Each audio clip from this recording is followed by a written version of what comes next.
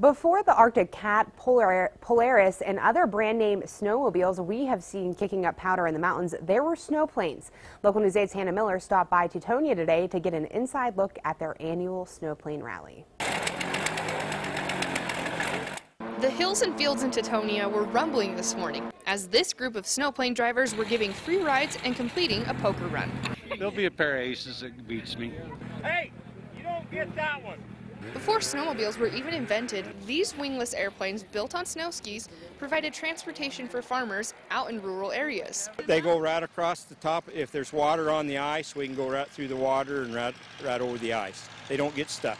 Yeah, I seen you just a hustling up there. But this snowplane rally is in memorial for Gary's father, Dale Robson. He fished on Jackson Lake.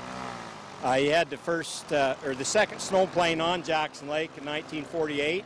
The free event has been going on for the past five years and continues to grow. This was an activity that they thought would be interesting to people and kind of different and a chance to use the snowplanes so that since they can't use them on Jackson Lake like they used to be able to.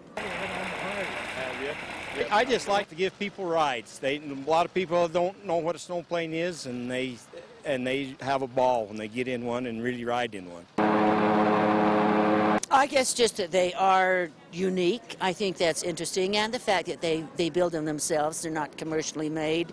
It's something they do, and has been a long time winter activity here. And many families came out to enjoy the Tetonia tradition. You know, we have the best view in the valley. We have a nice family type community. In Tetonia, I'll see you out in the middle of that field.